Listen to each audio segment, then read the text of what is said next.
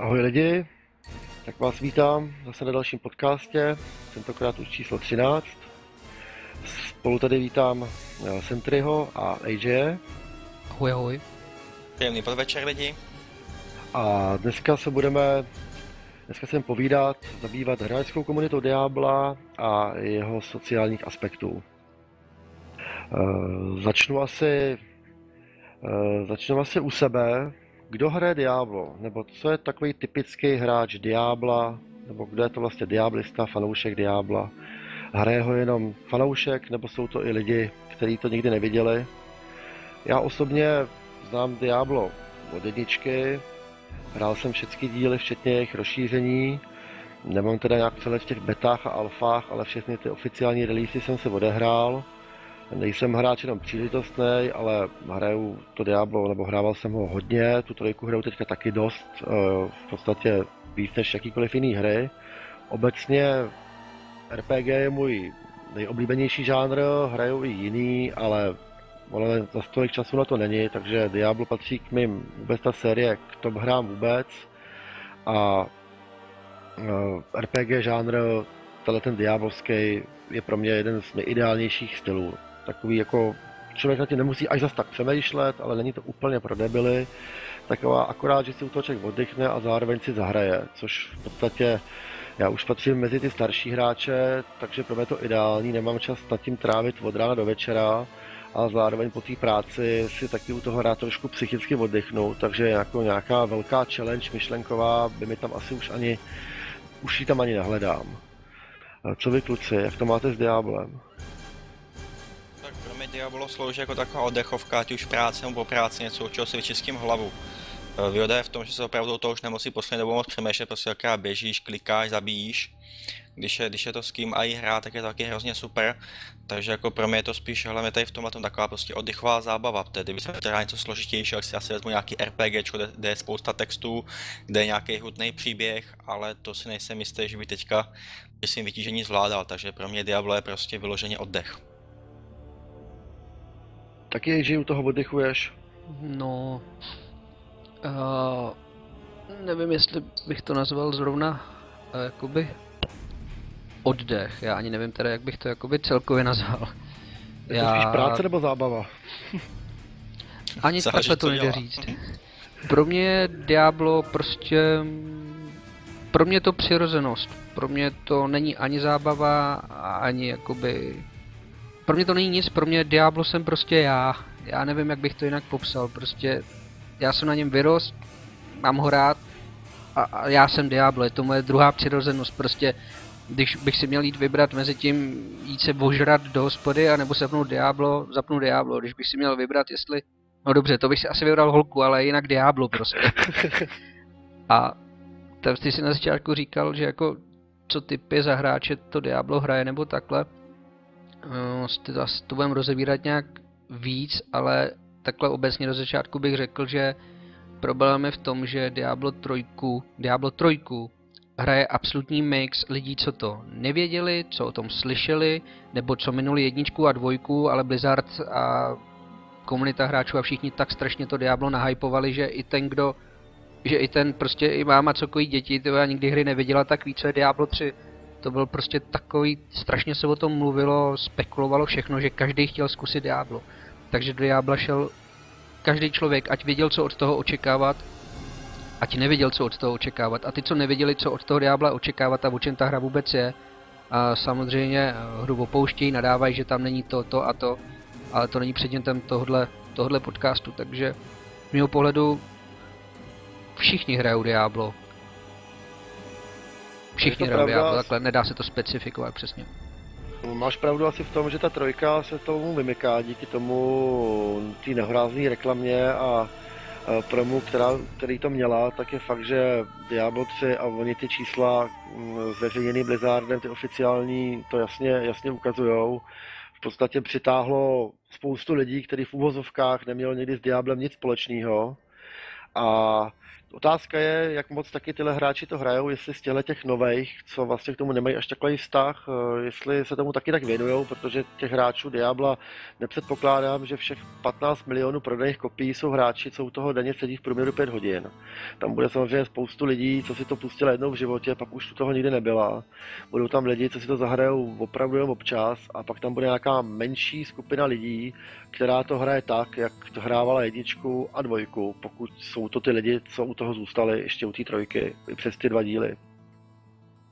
Já osobně patřím k té skupině, která to hraje v vozovkách poctivě, v podstatě se tomu, jak, jak říkal AJ, ne, že by to byl úplně můj životní styl, nebo že bych to byl vyloženě já, ale mám k tomu velký vztah a snažil jsem se, mám tam nějaké ambice zkrátka v té ve smyslu někam se dohrát, nějak si tu svoji postavu opravdu vyšlechtit, opravdu prostě RPG, eh, bytě s tím svázaná ta blbárna, hrá to v podstatě potom rutině do nekonečna, do kolečka, ale o tom prostě Diablo podle mě vždycky bylo a vždycky bude. Byla to prostě kolektorská hra nebo je, a ať tam bude sebe lepší cokoliv, tak si myslím, že přes tohle se, ten, se to nikdy nepřenese, protože to ani vlastně není potřeba. Vlastně Diablo prostě je o tom a pokud to mi dohledá něco jiného, tak to prostě musí jít hrát jinou hru, protože v tom nic jiného nikdy podle mě nedostane. V tom úplně hrubém principu. Co kluci, myslíte si to samý?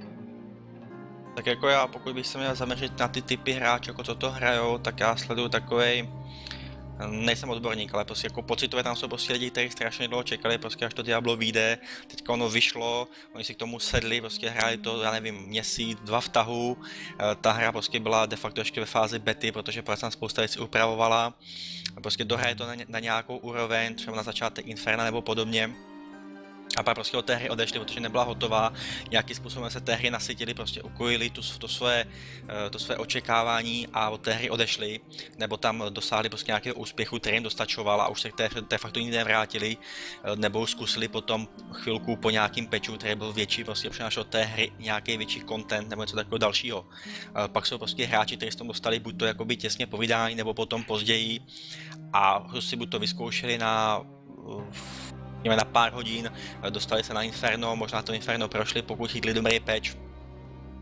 Řekli si, OK, mám hotovo, zabil jsem Diabla na Inferno, nemám v té hře co dělat.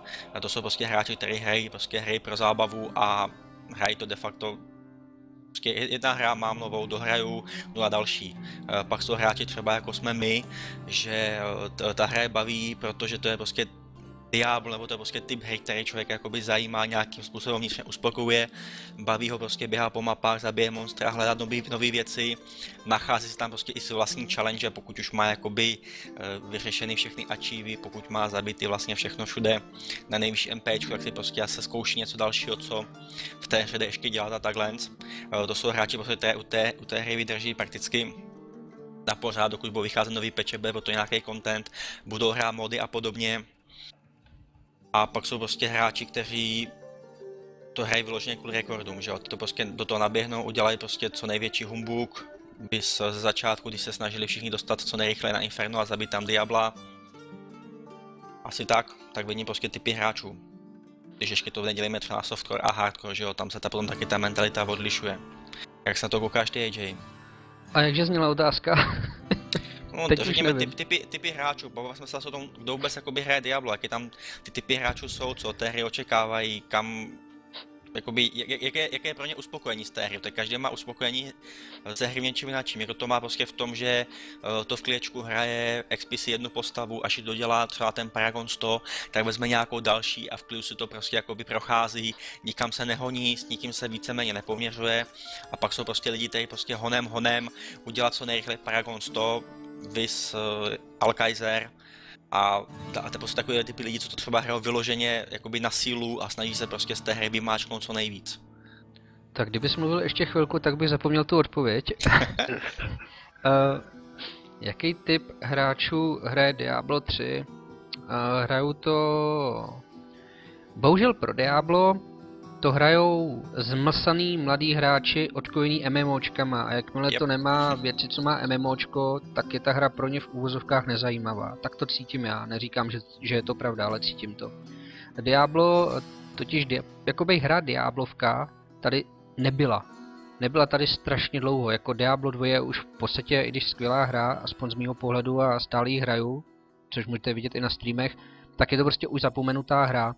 Má pár ještě příznivců, ale už to není nic moc, možná ještě pár modů, kde je třeba větší komunita, ale jinak je to v podstatě mrtvá hra. I když nějakých těch 300-400 tisíc to stále hraje, podle Battlenetu, co občas ukazuje za čísla. Jestli se tomu dá teda věřit, že jsou všichni na Diablu. No a vlastně z ničeho nic se vynořilo, že Diablo 3 bude. Mluvilo se v ní o superlativech, protože hráči z dvojky se modlili k bohu vlastně a hráči všichni z MMOček, z Vovka z jiných her prostě najednou začali slyšet Diablo, Diablo, tak půjdem do toho a čekali od toho něco, co v tom, co v tom nebylo. Pak to samozřejmě dopadlo, takže teď dřív nebo ze začátku hráli bych řekl strašně zmasaných hráčů, a některý to chytlo, bavilo je to mlátit, našli si kamarády, ale postupem času odpadávají, protože až třeba po roce zjistili, co ta hra opravdu ve skutečnosti je. Ona samozřejmě časem bude mít uh, úžasný nejspíš možnosti, které jsou nad standard akčních RPGček. Už teďka je vlastně, já bych se už teďka nebál říct, že Diablo 3 i přes ty obrovské nedostatky, co má, je obrovským nadstandardem všeho, co takovýhle hry doposud měly. Eh, ať už achievementy a podobné věci, protože Battle.net prostě Battle.net tomu přidává strašný koule. Podle mě Diablo 2 a 1 jsou v obě dvě v trojce a ještě něco navíc. Vem si, že Titan Quest, uh, Sacredy a Poečka a podobné věci, když Poečko je trošku, trošku o něčem jiným, bych řekl, že je cílený i trošku na jiný hráče, než na Diablo hráče. Tak v podstatě taková hra nebyla, takže přišli zmasený lidi, co nevěděli, co čekat, zůstávají pouze ty, kteří za prvý věří, že Blizzard ještě něco udělá, což udělá, to, toho bych se nebál, jenom otázka kdy, což je Blizzardí vždycky problém. Na Blizzarda byste se neměli ptát jako na zaměstnance, jestli bude, protože ano, stoprocentně bude, to víme. Otázka je, kdy bude. to je ten problém. E, a to většina hráčů v dnešní e, době neskousne, protože když si kouknete, e, vezmeme třeba i MMOčka, když pomineme fenomén Vovka, tak drtivá většina MMOček, ještě snad na Guild Wars a dejme tomu Lineage, tak to byli hráči, co přišli, zahráli 2-3 měsíce, zjistili, že dál, že dál v podstatě jakoby sami nemají kam, protože v MMOčkách prostě pokud nemáš partu, tak si v podstatě na nic v pozdějších fázích u většiny her. A to, to je právě třeba přivedlo k Diablu, kde můžeš být sám a kde sám můžeš dokázat velké věci, jenže už nemáš co dál potom dělat. Takže jsou to většina těch hráčů, co byla v Diabla 3, jsou hráči, co přijdou, zahrajou, řeknou OK a jdou dál. Diablo měl, má tu velkou výhodu, že na rozdíl od Battlefieldu a podobných věcí, pokud nehrajete kooperaci, tak to nedohrajete za dva dny a i konec. I, i za dva dny se prostě nepro, nepromlátíte nakonec Inferna.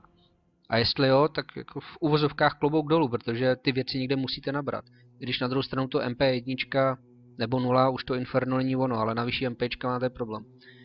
Takže abych to skrnul. Na začátku si myslím, že přišli zmasaný lidi, co vůbec eh, neměli ponětí, co je Diablo, ale prostě byl boom Diabla, tak šli do něj. Potom uh, ta první lajna odpadla okamžitě, zůstali hráči, co se jim to zalíbilo a třeba neměli, nebo zůstali hráči, co to Diablo mají celkově rádi. No a teďka už tady zbyli opravdu, nebál bych se říct fanoušci, anebo hráči, eh, co třeba chodí do práce, mají rodinu a to Diablo na ní nemají tolik času a tudíž pádem jakoby ještě nepřišli na konec té hry, který je momentálně v úvozovkách poměrně brzo. Já bych řekl, že pokud se hráč Diablo věnuje fakt hodně, tak ho tak do, do půl roku, myslím, dostane do nějakých mezí, kde si řekne, teď už nemá cenu asi plus minus farmit, protože užil jsem si díky a jdu dál, ale samozřejmě datadiskama a dalšíma věcma, nějakýma výzvama, který budete stále rádi opakovat, možná nekoneční dungeony a podobné věci, nebo nějaký bránění nějakých team-based defense modů, všechno, co Bůh ví, co všechno může být, tak ta hra strašně nabide. Tak jsem se trošku rozvětvil i možná jinam, než jsme původně chtěli. no, ty už se tak dokonce na kous. Um, zmínil jsi tady Poečko, když jsme u těch uh, alternativních her nebo klonu Diabla... Víme, protože... ještě než, než rozběhneš myšlenku, já bych se ještě vrátil k tomu, že do Diabla chodí spousta hráčů, kteří jsou odkleny MMOčkem, jsou to vesměs mladší ročníky, jsou prostě zvyklí hrát MMOčka, od Diabla očekávají, že to bude nějakým způsobem MMOčko a do určité míry se Diablo tak snaží v některých věcech tvářit. Eh, co myslíte, je to, je to správně nebo je to špatně, že ten Blizzard to jakoby v některé věci o to MMOčka tlačí na úkor takového toho, takové té klasiky toho Diabla, jak to bylo předtím? Tak ono podle mě to záleží na tom, eh, jak se jim ten záměr povede. Je jasný, že No, hráčů je hodně a Blizzard samozřejmě o ně nechce přijít a chce se nějak zavděčit. To znamená, že z té původní myšlenky ne, že by sešlo, ale je jasný, že se tam asi objeví i něco, s čím Blizzard třeba úplně nepočítal nebo neplánoval ten vývoj. Konec konců některé aspekty té hry se trošku vymkly Blizzardu z ruky, což osobně i sám přiznává, že vlastně, protože takovou hráčskou komunitu žádná hra nemá. Takže v podstatě eh, můžete mít sebevětší hráčské zkušenosti, co by firma s vývojem her, ale prostě tohle je bez tak něco úplně jako novýho a tak převratného, že si myslím, že to, že, že, že to pro ně bylo dost nový. A ve spoustu ohledech třeba nevěděli, tápali, mm, možná, že to je jeden z důvodů, proč do toho zapojili tak jakoby docela dost tu hráčskou komunitu a vlastně to v úvozovkách vyvíjí tak trošku s tou hráčskou komunitou, nebo reflektují aspoň z části těch požadavky, pokud žive ta komunita pokud těch lidí žve hodně, tak spoustu věcí si tam už vyzvali, že jo, co si budeme povědat, konec konců na tom, na, tý, na tom snížení té obtížnosti a dostupnosti všeho možného je to vidět. Na začátku tam bylo toho mnohem míň, bylo to mnohem těžší a obtížnější a kromě toho, že, tam, že Blizzard tu hru dolaďoval, opravoval chyby, přidával nové věci, které tam třeba už jako chtěl a ještě ne, ne, nebyl schopen dodělat, tak musel i reagovat na to, co se lidem třeba nelíbilo. Nebo musel, zkrátka reagoval. A pochopitelně pochopitelně pro nás starší hráči, který máme třeba rádi nějakou tu challenge a zachování nějakých konzervativnějších přístupů v některých ohledech, tak se nám to líbit nemusí. Pro ty, co k tomu přišli jako k nové věci, nemají ani možnost porovnávat s něčím jiným, tak eh, tam, otázka, tam je to otázka, jako, kde je vlastně ten standard nasazený té hry, od čeho se to má odrážet, kdyby to mělo skončit. Kam to vlastně Blizzard chce dotáhnout s tou hrou jako celek, to nikdo samozřejmě z nás neví. Určitě, jak říká AJ, mají spoustu plánů a určitě změny budou. Nikdo samozřejmě ovšem neví kdy a jak budou veliký. Takže to je samozřejmě jedna velká otázka. A konec konců další aspekt eh, věci je ten, že ne každý z těch lidí, co jakoby v úvozovkách hraje Diablo, ho hraje. Jsou tady samozřejmě bohužel i takový ty nešvary, že to někdo má čistě jenom jako na šmelinu nebo na různé jiné podvodné účely, ať už se to týče nějakých exploitů, krádeží účtu nebo prostě obtěžování hráčů, ať už v reálném nebo v tom herním světě a tak dále. Blizzard to má dokonce vypracovaný celý systém eh, nahlašování, jak tyhle ty hráče případně jak na ně upozornit eh, nebo jak, eh, jak se s tím vypořádat. Jak nás tak poslouchám, budeme mít asi velký problém se soustředit na to téma, který v podcastu máme probírat. Ale to se stává, o to je to podcast. A je, k té otázce, já si vůbec nemyslím, eh, že se Blizzard snaží eh, z tohohle dělat MMOčko. Já si myslím, že je to prostě Diablo a je úplně normální eh, přirozený vývoj, že přidává některé funkce, funkce, o kterých byste si mohli říct, to jsou funkce z MMO, ale prostě on Diablo prostě dvojku vzal a posunul dál a v datadiscích je bude posouvat stále dál a dál z mýho pohledu to vůbec není jakoby přidávání, snažit se jakoby dělat z toho MMOčko, on prostě dělá hru, aby mu vyhovovala aby se mu líbila. Jestli někdo nazve, že je to MMO, část nějaká přidaná, no tak budíš, ale nemyslím si, že Blizzard má jako potřebu říct, teď tohle vememe z MMOčka, tohle vememe z čistého RPGčka, tohle vememe z tahovky. On prostě vzal Diablo, který se mu líbí, a přidává funkce, které si myslí, že lidi uvítají. Takže bych jako, myslím si, že že myslím si, já si myslím teda osobně, že Blizzard si taky myslí, že si myslíme úplně jakoby blbost. Nemyslím si, že to takhle bere a že se to snaží nějak uměle tlačit. Já bych spíš řekl, že to spíš tlačíme my jako hráči uměle. Hele, tohle jsem viděl v MMOčku. Je, hele, teď je to v Diablu. Oni se z toho snaží dělat MMO. Já si myslím, že to funguje spíš takhle, než že by to Blizzard takhle viděl. No to je to, co jsem tak nějak trochu naznačil, že tam, že, že tam spoustu věcí, nebo nevím jestli spousty, ale dost věcí dělají na základě nějakého tlaku té hráčské komunity. Já osobně si taky nemyslím, že z toho vyloženě dělají MMOčko.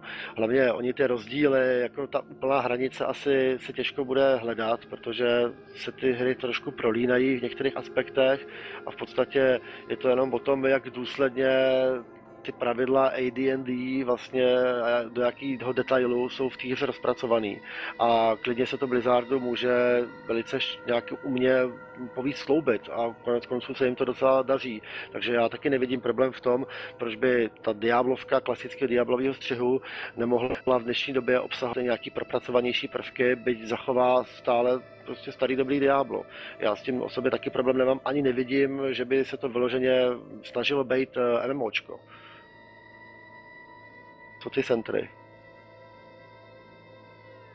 Já jsem tak jakoby na půl cesty, proto jsem mi tu otázku nadhodil. Mně jakoby nevadí, že tam jsou některé věci jakoby inspirované MMOčkem, ale... Setry, ale... vemem to pomalinku. Jaký přesný věci?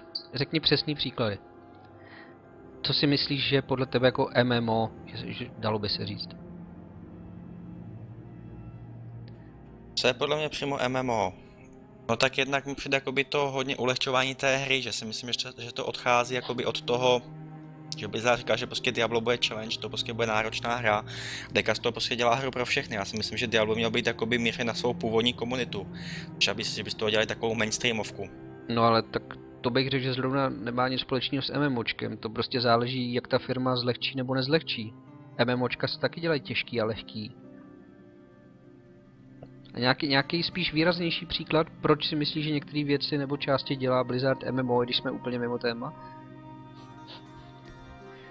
Víš něco, co, co si třeba řekneš, to, to je přeci úplně jasně z MMOčka a sem to nepatří, nebo z čeho, z čeho vzniká ten tvůj pocit, že to Blizzard se snaží tlačit do MMOčka, jako v jakém směru aspoň, nebo naznač? On je taky hodně obecný a špatně se v tom hledá to, co vlastně chceš říct. Ty jsi mě skočil, já si vzpomenu. Po, po, po, pojďme dál a pak se tomu ještě vrátíme. Popojďme. Uh, dobrá tedy, takže Uh, že už taky trošku na kous, uh, už vlastně se zmínil o nějakých těch, protože Diablovka je víceméně dneska zažitý název už skoro pro typ hry, protože byť RPG fantasy je celkem obecnější škatulka žánru, tak Diablo se z toho celého prostě trošku vymyká, je to prostě Diablovka, otázky, jak to bude s trojkou, ale jednička, dvojka, i zatím trojka si myslím, že mm, tohle to docela ctí. Eh, ten Já Diablo to malinko skočím, už i normální recenzenti, kteří třeba recenzují uh, Poečko, recenzují Sacred nebo Titan Quest, používají termín Diablovka. Už je to prostě zavedený termín. No, přesně tak. Takže zmínil jsi tady nějaký klony těch Diablovek, zmínil jsi třeba Poečko. Já osobně klon Diabla. Beru to jako klon Diabla, byť jak si sám říkal, už je to zase trošku pro nějaký trochu jiný typ hráčů. Mně se Poečko líbí, Eh, je to vlastně, je to Diablovka, ale je tam zachovaná trošku taková ta temnější atmosféra, i ta obtížnost těch starších her. Přitom graficky eh, to má úroveň řekněme současnou, byť ta artová grafika se někomu může zdát v Diablo 3 hezčí, ale já osobně s grafikou v polečku problém nemám, mě ta grafika taky přijde pěkná, byť je trochu jiná. A osobně v tom polečku právě trošku si tím polečkem třeba nahrazuju tu nostalgii Diablovskou. Ne, že by to bylo vyloženě, že bych si tím nahrazoval Diablo, beru to jako dvě odlišné hry, byť je to stejný typ hry, ale každá hra mi dává trochu něco jiného. A mám tam i jiný, jiný v podstatě herní ambice, hraju to úplně jiným způsobem. Eh, vzpomenete si kluci nějaký jiný, byť současný nebo nějak nepříliš starý uh, Diablovky nebo klony Diabla, nějaký hry, se k tomu přibližují a co hrajete nebo hráli jste?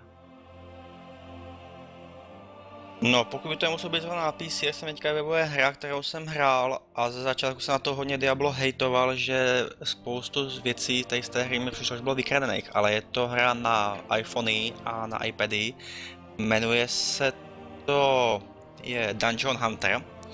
A je to, to je typická Diablovka, tam prostě máte tři typy hrdinů, jako bylo v jedním prvním Diable, pobíháte, zabíjíte, sbíráte věci, prostě úplně klasika.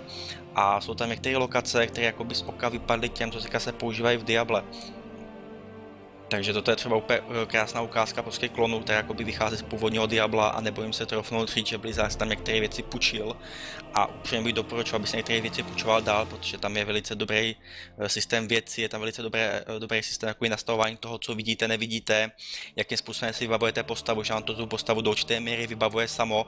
Vlastně to, co jsme viděli v předposledním SL, když AJ pouštěl, myslím, že to bylo předposlední ukázku konzolové verze, jak vám to vlastně napovídalo, jak, jakou věc jste dropli, jestli je lepší nebo horší, než to, co máte na sobě a podobně.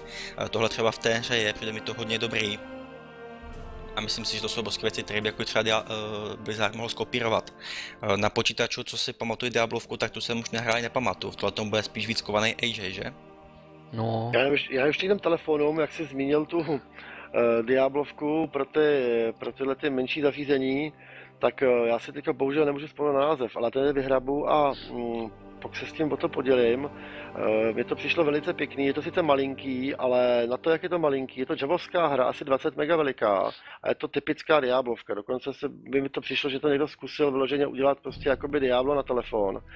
A ta grafika na to, jak je to malinký, je úžasná. Sice to není nějak veliký, ty mapy jsou malý, a ty možnosti jsou taky samozřejmě omezený, ale v podstatě, když, když to vemu kolem a kolem, tak ten princip je tam zachovaný. Přirovnal bych to graficky zhruba k Diablu 2 s lepším rozlišením a to ovládání taky spartanský, jednodušší, ale princip je tam zachovaný, takže pokud je na Diablo závislý až tak, že si ho rád užije i v metru a v autobuse a všude, tak tohle je docela, docela, docela příjemná volba. Přišlo mi to docela zajímavý, bohužel si teďka opravdu nespomínám ten název, abych se s tím mohl pochlubit rovnou.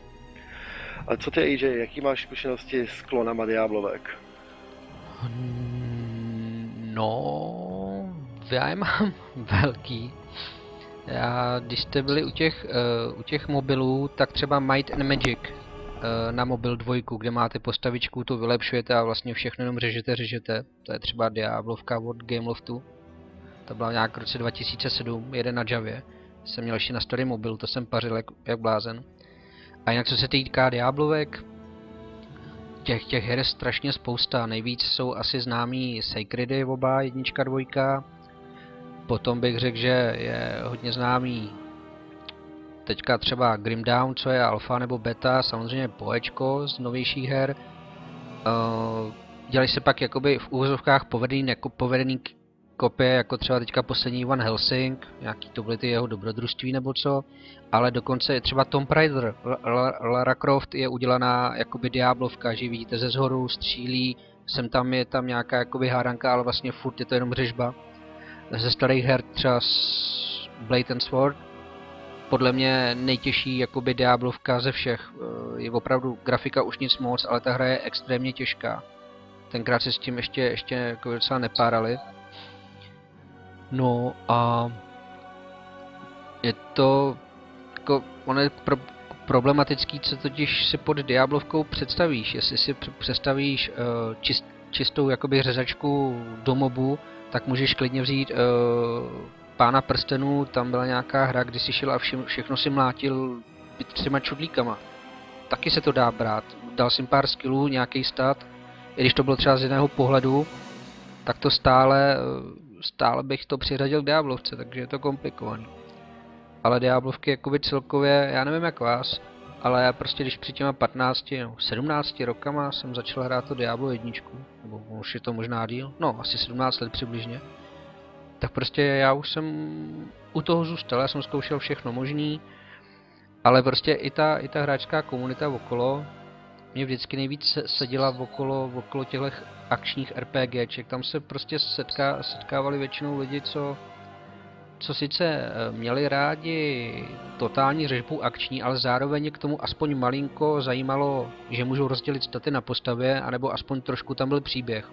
Protože takovou tu úplnou čistou řezačku bez příběhu, to, to nic pro mě není. A takový ty úplně hudný RPGčka, kdy sice souboje všechno takticky je perfektní, ale musíte se proklikávat tunama textu, to mi taky nic neříká až tak moc, protože pokud já takovouhle hru prostě nezačnu hrát a nedokončím ji, já se v půlce seknu, 14 eh, dní třeba nehraju a pak ji musím hrát odznova, protože zapomenu příběh.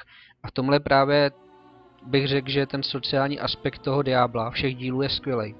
Jdete tam, můžete si zahrát chvíli nebo dlouho, příběh je v uvozovkách na druhý koleji, ale když už si ho chcete najít, tak ho najdete a zároveň můžete rozdělovat nějaký čudlíky. Já bych řekl, že, že takováhle hra prostě je příjemná, je prostě příjemná pro hráče, protože nemusí ani myslet, zároveň nesmí být ani blbý, mají tam příběh, mají tam všechno a proto si myslím, že ty hry tohohle typu jsou tak úspěšný, ať jsou jakýkoliv. A ještě co se týká toho poečka, eh, tak jak si říkal Mime, Miminu naše, tak poečko nebo třeba Torchlight 2 si třeba myslím, že nejsou žádná konkurence pro Diablo, protože opravdu si myslím, že Tor- Torchlight 2 včetně jedničky a eh, poečko jsou opravdu trošku zaměřený pro jiný hráče. Myslím si, že si ty hry nebudou konkurovat nikdy. To je můj názor. Teďka asi myslím, spousta lidí nesouhlasí. Já si myslím to samý, no. Takže uvidíme, ale třeba k tomu poečku, když jsi říkal, uh, hele, poečko vykradlo všechny možné hry, co mohlo. Ale to je právě, ale udělalo to tím správným způsobem. Vykradlo je to dobře a posunulo ty nápady ještě trošku dál. Prostě vykradli ty správné věci. Třeba v tomhle ohledu bych se za poječko jako výrobce hry vůbec nestyděl to, že jsem vykradl všude nápady, protože jsem je vykradl dobře a ty hráče to baví. Tak by to mělo fungovat. Prostě vzali, vzali, vzali, ty, vzali ty dobré mechaniky a prostě dali do jedné hry a vyvarovali se ve směs, nebo asi tam taky nějaká chyba bude, ale ve směs se vyvarovali těch, těch horších mechanik, těch, co jsou nežádoucí.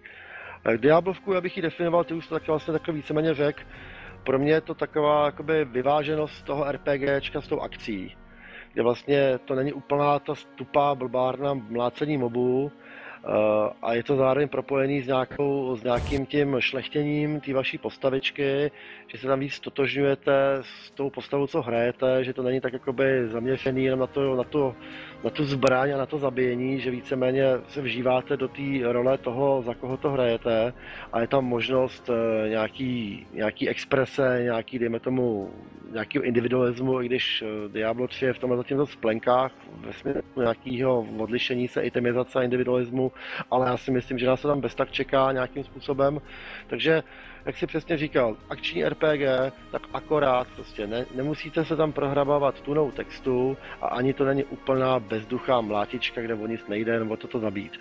Takže opravdu sednout si k tomu, aniž by člověk zapomněl, o čem to celý je a dá se to takhle hrát do nekonečna. A to je to, co já osobně třeba na, tom, na, to, na, na těch Diablovkách se mi líbí, to, co na tom mám rád.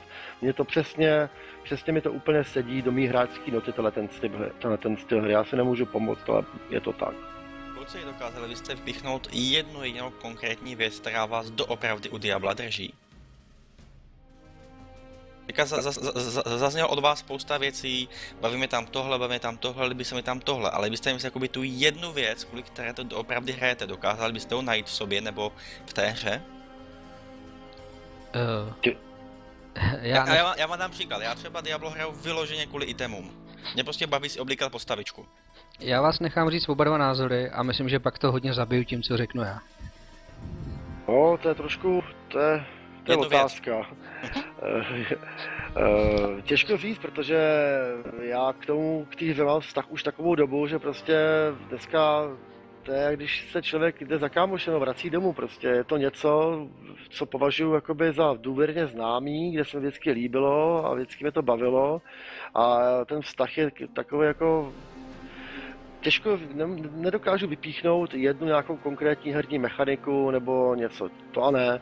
Je to, pro mě to prostě, se mi to líbí jako celek. Prostě vůbec to provedení té hry, to je tu hru užívám. jednu věc, to máš jak žensko, když jsi potkal, tak se ti první věc se ti ani musela něco líbit. Tak asi úplně ten, ten, ta podstata, to, ta podstata toho no, RPG. Někdo má prsa, někdo má něco jiného. Ta podstata RPG, že mám postavičku, tam má nějaký skilly, oblíkám ji do těch hadrů a prostě buduju si, buduju si to svoje, tu svoji postavičku. Oblíkám ji do čím dál lepších věcí, používám nějaký skilly a nějak se, je, je to pro mě nějaká exprese v tom světě toho příběhu. Prostě šlechtím si tu svoji postavičku. Takže vlastně a, avatar, že jo? No a snažím se jí najít ty nejlepší, ten nejlepší gear, prostě dostat jí na tu nejvyšší možnou úroveň. Samozřejmě eh, to jde několika způsoby a já se snažím nějakou zlatou střední cestou, kdy to kdy se snažím kombinovat takovýto poctivý hráčství, aniž bych si to nějak extra ulehčoval, ale samozřejmě nějaký úlevy tam jsou ve smyslu, že použiju aukční dům, je tam nějaká ekonomika, není to úplně self-found mod, byť mám postavičku, kterou třeba jedu na self-found mod, ale eh, je to, je, to pro mě, je to pro mě víc věcí, ale ta hlavní asi, pokud bych to vypíchnul teda jednu za všechny, tak je to ta podstava, podstata toho RPG, že máme nějakou postavičku, kterou si nějak rozvíjím a není úplně závislá jakoby kauzálně na té příběhové rovině. Odehrajete ty questy, jednou projdete všechny mapy a pak už tam můžete líst odkud chcete, jak chcete, do jakýkoliv fáze té hry a jakoby v momentě, kdy to jednou odehrajete celý, tak už ten příběh v podstatě slouží jen takový playground na tu, na tu hru, je takový pozadí k tomu, na čem se to odehrává. Jinak už tam potom nějaký vyšší smysl nemá. Je to opravdu šlechtit postavičku, farmit, hledat nejlepší itemy. A jakáže byla teda odpověď? Já si taky říkám, jako, že jednu věc, já tě nenechám, dokud mi neodpovíš. Jednu věc vypíchni, co tě tom to opravdu drží.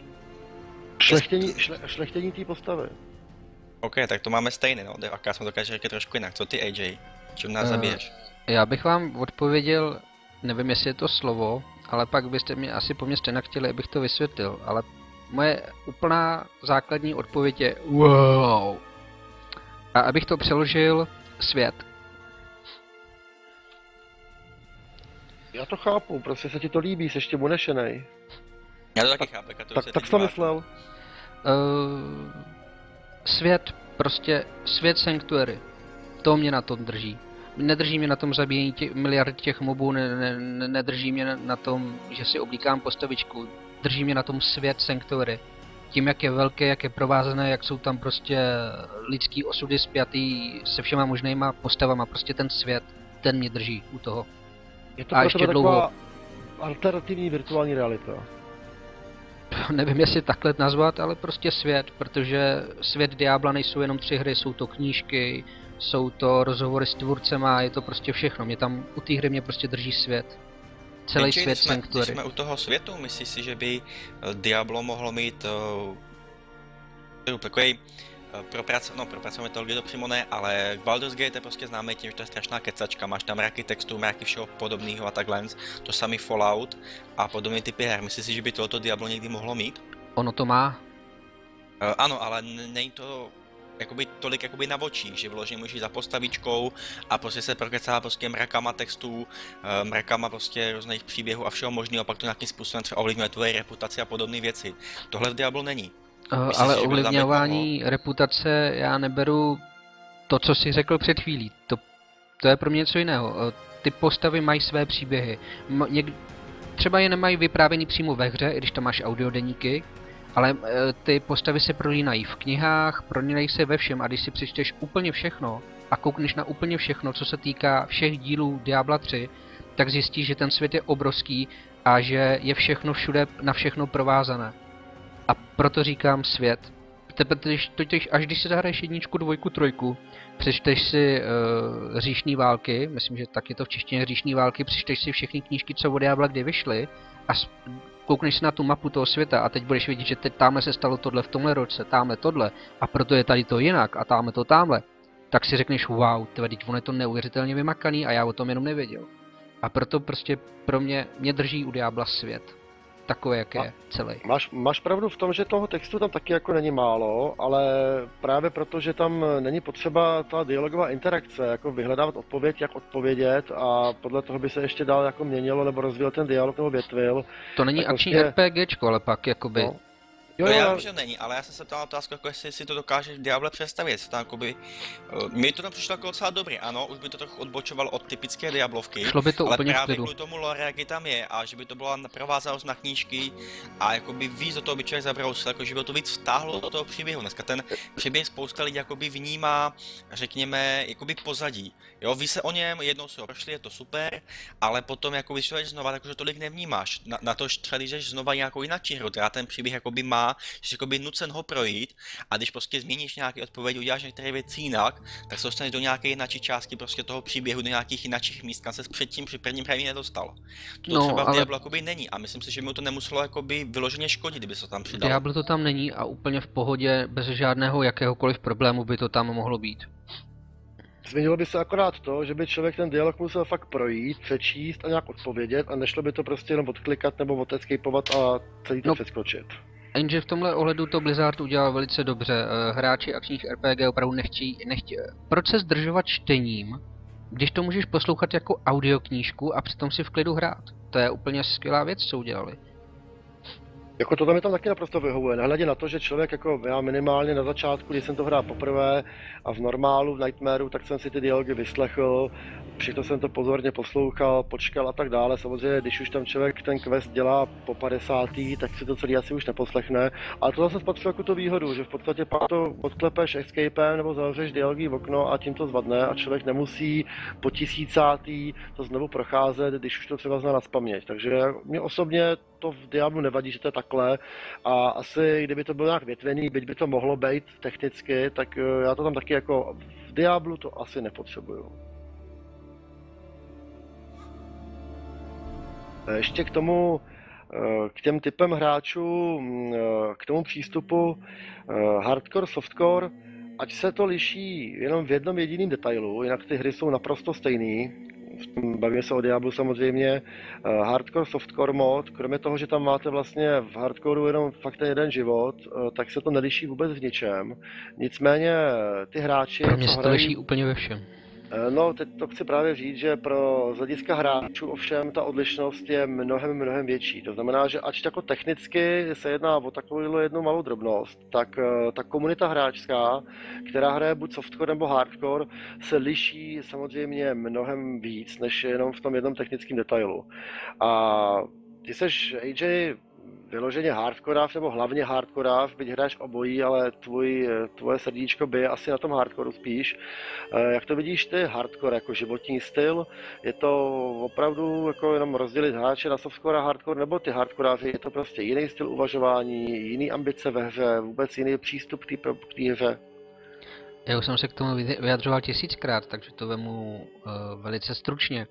Uh, hardcore jako životní styl ano, já to tak osobně mám. Beru to jako životní styl, k té postavice se prostě snažím přistupovat jako k normálnímu člověku, který, když prostě, který ho nechceš podrazit, nechceš zabít, když ti umře, tak prostě, tak si smutnej.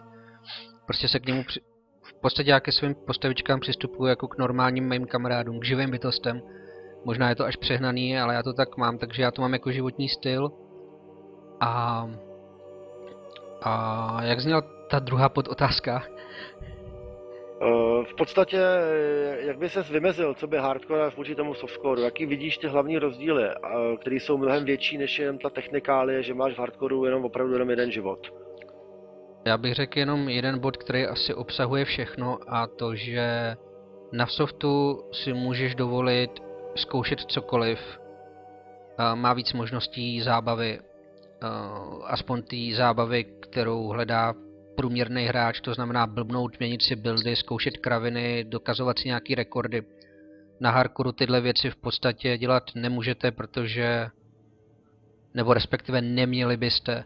A hardcore, jinak myšlení hardcore hráčů, a teď mluvím o hardcore hráčích, ne o hráčích, co hrají hardcore, ale o myšlení hardcore hráčů. Prostě není, není o tom, že jdou dělám stovku Paragon, budu King tam jde prostě tu postavičku mít rád, eh, snažit se, aby přežila a když přežije dostatečně dlouho, tak ty expy a zlato a všechno ostatní prostě přijde. Řekl bych, že když nebudem hrát, jako nebudem brát, kdo hraje hardcore a softcore, ale kdo jakoby cítí softcore a hardcore, tak ty hardcore hráči prostě mají mají jiné myšlení, vidí tu hru jinak. Nevidí hůř ani líp, eh, vidí prostě jinak. Proto taky vždycky říkám a chci opět znovu a zdůraznit, uh, hardcore není lepší než softcore a naopak, uh, jsou to dvě úplně jiné věci a tudíž porovnávat je je docela, docela cestný nebo hodně těžký. Kam by ses napasoval ty, Sentry? Jako jestli jsem víc hardcore hráč, nebo jestli jsem víc softcore hráč? Jestli jsi hardcore hráč, nebo softcore hráč. Je to tak jako šalamounský, já mám pocit, že jsem takový jakoby hardcore hráč na softcore, protože já vzhledem k tomu, že převážně hraju v práci, tak jakoby nejsem schopný hrát efektivně hardcore v partě, eh, takže spíš jako preferuju softcore, ale to takovým způsobem prostě, abych měl gear, eh, abych co nejméně umíral. A jakože co se týče jakoby nějakého soužití s postavy, jak říká jo, tak to mám taky, že jo, ale mám to víc uh, u postav uh, ne v Diablu, ale v takových těch postavách právě v těch uh, hrách RPG, které jsou víc kecací a podobně, protože se člověk do toho příběhu vžije o trochu víc a o trochu jinak než u toho Diabla. Když, tady... odby, když odmyslím tu technikály, že v práci nemůžeš tohle a tohle, nebo máš třeba pomalej net, kde ten hardcore technicky je obtížný hrát, tak ale když tohle to odmyslím, tak eh, máš radši hardcore nebo softcore? Spíš se považuješ za hardcore hráče nebo za softcore hráče, byť třeba hraješ v obojí? Já se považuji, tak z tohle úhlu pohledu asi spíš za softcore hráče. Ale je to spíš daný tím, že hardcore jsem přečichal vlastně až eh, tady v Diablo 3. Eh, mně se právě na hardcore hodně líbí třeba to, že tam jakoby seš, eh, ne vždycky, se záleží, jako máš postavu, že ale jsi prostě jakoby nucenější hrát v partě. Líbí se mi tam prostě to, že využíváš toho sociálního aspektu v tom smyslu, že jakoby si můžeš postavit buildy přímo do party, že jsi prostě schopný uh, partě nějakým způsobem pomoct.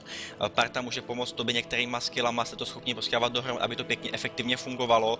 To je prostě něco, co se na softcore jakoby nedrží. V tom se mě zase by hardcore líbí jakoby mnohem víc než softcore. Na druhou stranu je to prostě o tom, jak člověk přemýšlí, jde to hrát taky na softu, jenže tam je to prostě hlavně teďka, Core of Diablo je to prostě strašně zatížený tím, tou efektivitou já to na sobě třeba poznám, když hraju eh, za postavu, kterou třešky nemá na stovce Paragonu, tak jakoby se snažím to hrát prostě efektivně a jakoby využívat ten čas, jakoby co nejlíp to jde.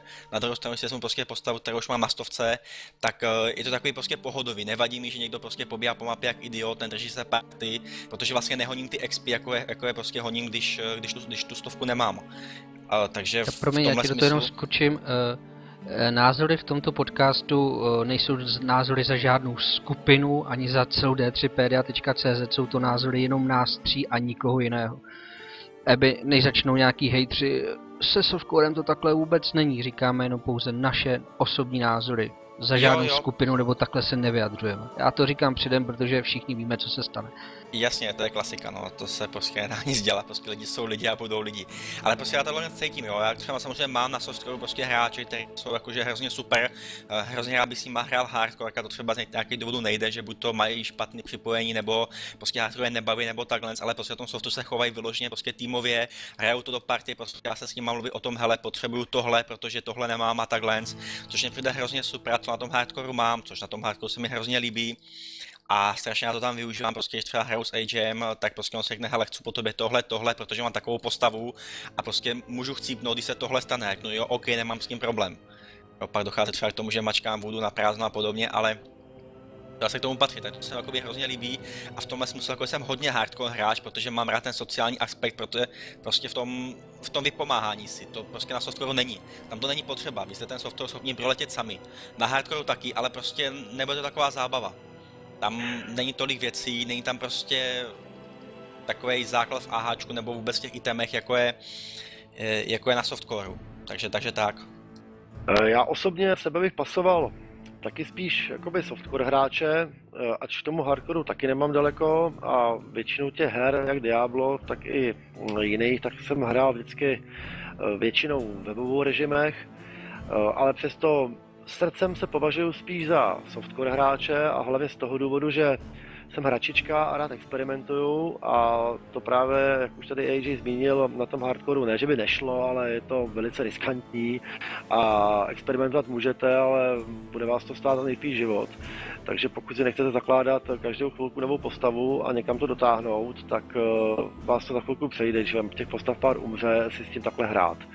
Takže spíš ten softcore, proč jsem se rozhodl hrát hardcore je hlavně z důvodu jednak teda eh, jistý v úvodovkách vyprázdněnosti, přece jenom ten software hraju nějaký pátek, už jsem taky jako občas nevím, co by v té hře, byť tě to ještě jako furt baví, tak jsem hledal nějaký další alternativy, jak si ještě užít tu hru, tak jsem vyzkoušel, nebo respektive začal hrát ten hardcore režim. Líbí se mi tam na tom eh, ta komunita, ne, ne že byste na, hard, na softcore nemohli mít dobrou partu. A já si myslím, že ji docela mám a jsem rád a funguje to a nebál bych se s lidmi hrát i za hardcore, oni taky samozřejmě hrajou i za hardcore. Bohužel ty postavy máme teďka tak eh, rozejitý, eh, co se týče úrovně, že si na hardcore spolu zahrát nemůžeme. Musím ho počkat, až někdo umře.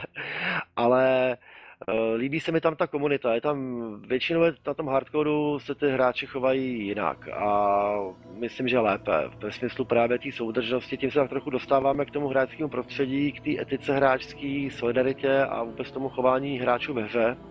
Hlavně teda v té hře více hráčů v partě v multiplayeru. A na tom hardcoreu je ta parta velice důležitá, protože pokud to nefunguje, tak prostě tak, tak se umírá. A pokud to má mít smysl, tak ta parta by si měla fakt kryt záda, měli by chodit spolu, měli by, se, měli by tam být nějaký vedení, nějaký prostě pravidla, uh, nějakého chování, jak se chovat, jak k tomu přistupovat, ptát se na věci a tak dále, nedělat to bez hlavě, bez vědomí zbytku skupiny a tak dále. Zkrátka být v nějakým koncenzu, postupovat nějak společně a hrát to vlastně opravdu spolu. Tak jako kdybyste opravdu v reálném životě šli prostě ve třech těma dungeonama plný potvor, tak asi taky se nikdo nikam nerozuteče a všichni se budou klepat strachy u sebe a aby, a, protože jak se budem, co si budeme povídat, eh, bude nás víc, nebudeme se bát velká nic.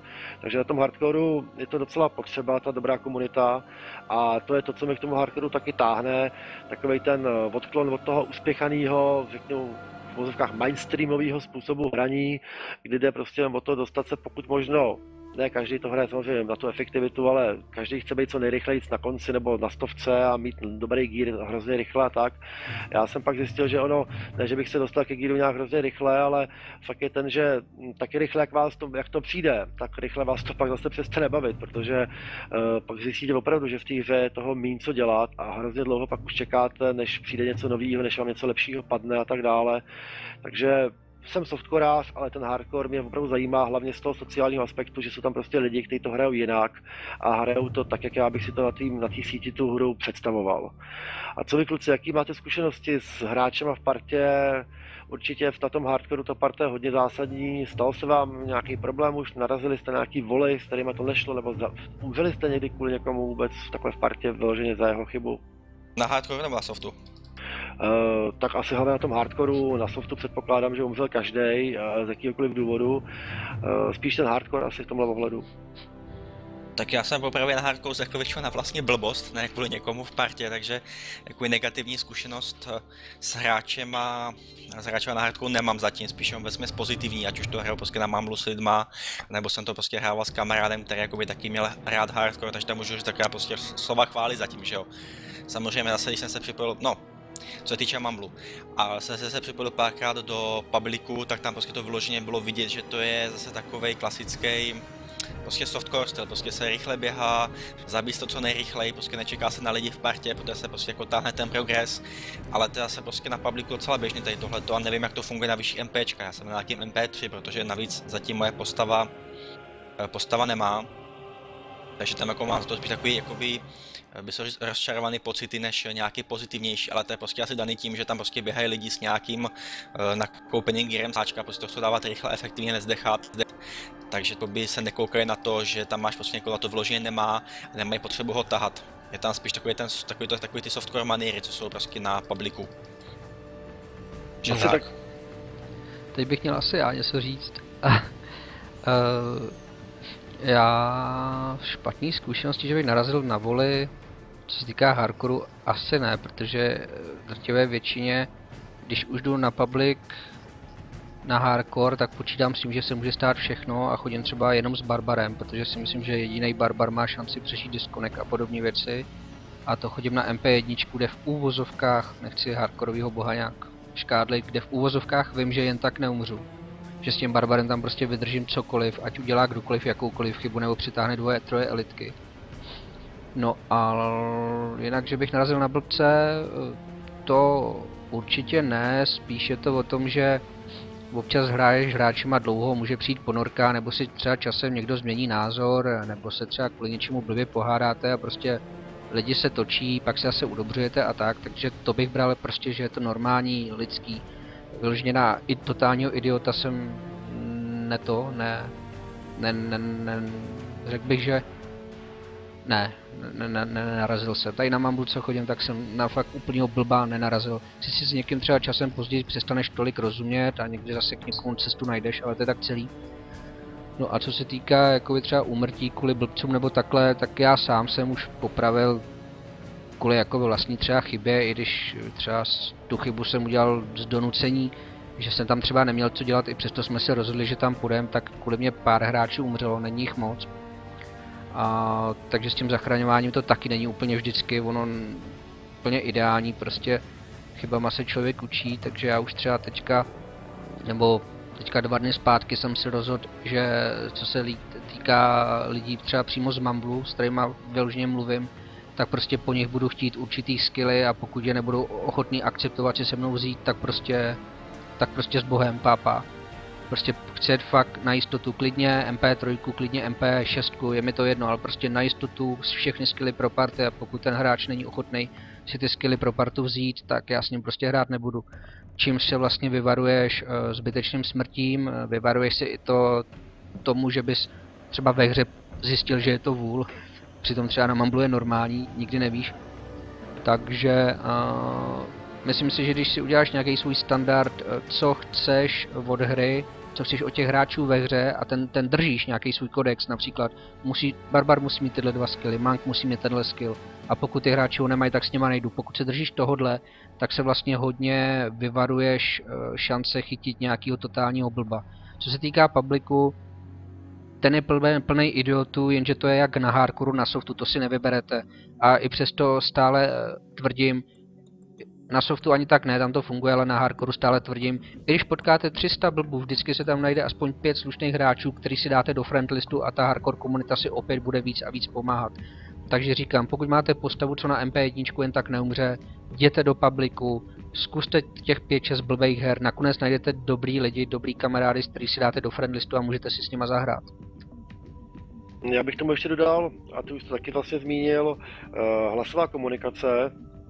Uh, já osobně hardcore buď ho hraju solo, a když ho hraju Public jsem ho ještě nehrál, a když ho hraju v partě, tak eh, vyžaduju taky tu hlasovou komunikaci. Jednak je to mnohem efektivnější, jednak si myslím, že i z toho sociálního hlediska ty hráči spolu maj, k sobě mají mnohem blíž, než když, eh, než když si tam občas něco napíšou a dneska už toho moc nenapíšou, protože díky těm eh, sociálním vymoženostem, pro někoho možná vymoženost, pro někoho je to obtížný, tak vlastně tím, že vám teďka ta hra vlastně hlásí spoustu věcí, že tam narazili na elitku a podobně, ve městě víte, že podle vlajky, že na tím máte ty skřížený sekery, že tam zrovna někdo bojuje, do toho chat panelu vám, se vám napíše, kdo koho potkal, takže vlastně díky tomu, ač to samozřejmě zefektivňuje a zjednodušuje, zrychluje to tu hru, tak to trošku podstatě ty hráči spolu skoro vůbec nemluví. Na publiku tam, tam už se ani nezdraví, jo. Tam přijdete a nikdo neřekne ani haj, pokud to tam neřeknu já, tak uh, mi nikdo kolik ani neodpoví. Takže ta hlasová komunikace v tom sociálním aspektu dělá určitě hrozně moc a myslím si, že ty hráči pak mají k sobě blíž. A další věcí, ta solidarita a chování ve hře, AG na to má kodexy, já v podstatě taky.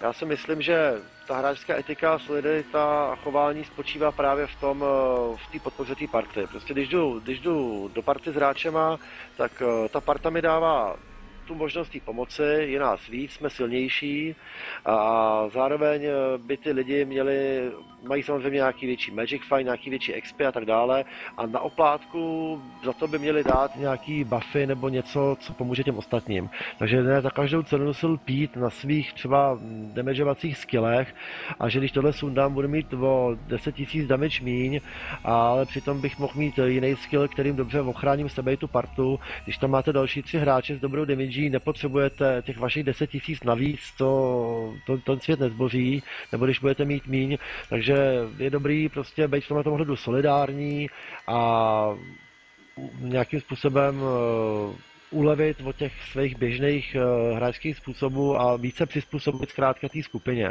Měl by to být taky nějaký koncenzuální, aby to fungovalo dohromady, aby tam ta pravděpodobnost přežití, ten hráčský zážitek uh, byl samozřejmě to nejlepší. A Blizzard dokonce uvažuje asi o tom eh, to nějakým způsobem rozvíjet ten sociální systém dál. Možná se dočkáme i nějaký té hlasové komunikace přímo v rámci Battle.netu, což si myslím, že by bylo hodně dobrý, že vlastně by to bylo asi jednodušší, protože dneska narážím třeba na to, že někomu řeknu, hele, pojď na Mumble, je a tohle, a to já už to tolik nehraju a nechce mi ta manželka poslouchat, co si povídáme a podobně. Spíš ti mají problém, že nemají třeba už tolik soukromí nebo nejsou nejsou tak odvázaný hráčsky, aby si mohli dovolit... No a neřeknu ti tohle úplně to samé jenom tam, protože tam si stejně budou muset nastavit mikrofon a další věci. Uh, samozřejmě, že to beru tak trochu jako výmluvu, prostě těm lidem se nechce, jsou líní cokoliv dělat třeba navíc a podobně. Jaký jsou ty pravý důvody, nevím. Nicméně prostě je trošku problém, je, je problém dostat některý lidi, uh, některý lidi na Mumble a že těch hráčů okolo mě není málo a fakt jako zatím jsem, co jsem o tom ze všema mluvil, tak jako zatím nikdo z nich zatím nebyl schopen se tam prostě připojit, jo. Což mě trošku mrzí, no. A potom další věcí je třeba přístup k, k těm materiálním věcem. Každý prostě najde legendárku, ať už je dobrá, špatná, tak jenom kouká, kolik to může mít cenu. Jo, kdykoliv ve hře někdo něco dropne, ukáže, tak jako samozřejmě pochlubí se, hele, co mi padlo, ale první otázka je, kolik myslíš, že to, za kolik myslíš, to můžu prodat? A to dát na buyout nebo na byt a podobně. Každý zajímají ty prachy, eh, přijde kámoš do hry. Tohle a... mě promiň, ale tohle mě děsně vytáčí na hardcore Prostě místo, aby si ty hráči mezi sebou ty věci dávali, aby měli s kým hrát, protože všichni okolo nich sípají bez vybavení. Příklad, nemusí to tak být. Tak první prostě, co přijde nový hráč na hardcore, za kolik myslíš, že to můžu prodat? Vraždil bych. To se no, mi otevírá přesně... katana v ruce vždycky, no, teda v no, kapse. Přesně jak říkáš, takže uh, a kolikrát jde i Vojtem, nebo kámoš, ale nechceš tohleto, tak ty řekneš, jo, to by se mi mohlo hodit. A je to prostě třeba věc, není špatná, jinak bys ji vyhodil, ale prostě není to nic světoborného. A on hnedka, no a kolik mi za to dáš?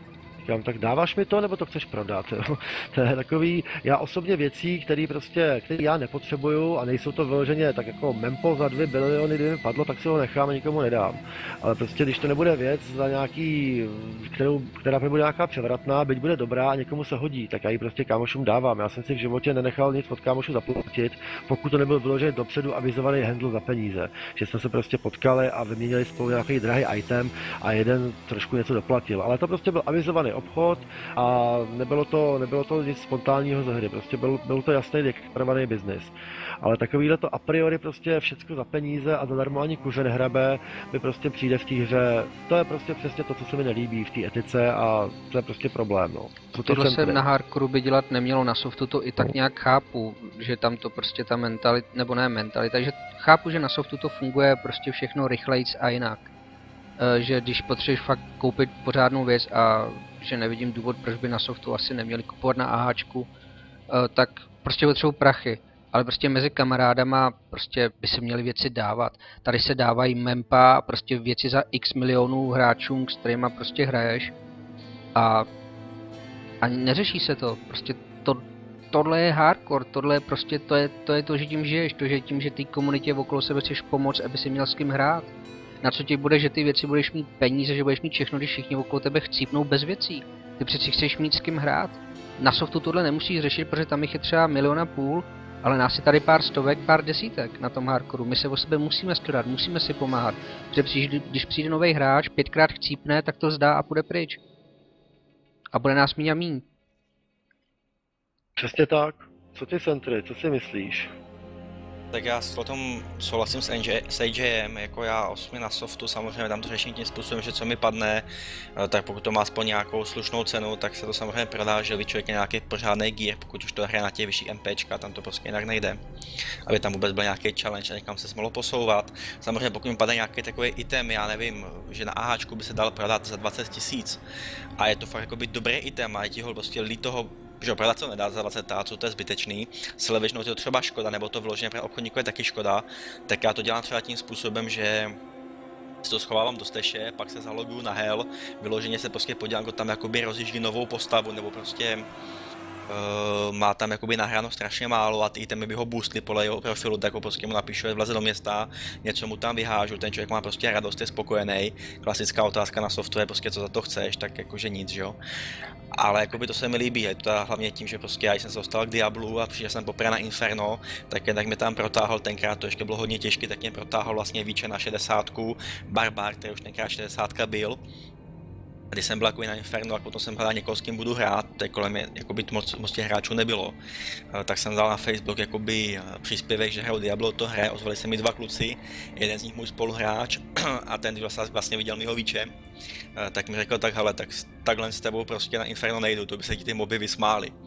Prostě vlezl na AH, nakoupil mi za milion výbavu, což dneska přeloženo, že to byla výbava za nějakých asi dobrých na dnešní peníze 50-60 milionů na tehdejší dobu, prostě zainvestoval do mě milion a šel prostě se mnou hrát Inferno.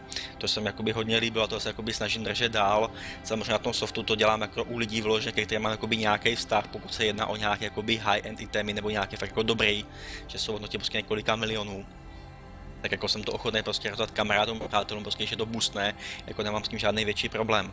Eh, to jsem jako na hardcore, když mě padne něco dobrýho, tak prostě jakoby rozdávám, to co já s tím budu dělat.